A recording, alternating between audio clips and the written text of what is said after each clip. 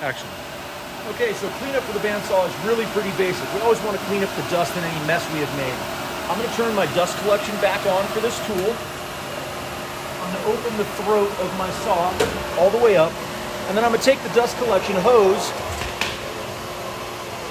off the back of the saw, and I'm just going to use it as a vacuum cleaner and clean up the table.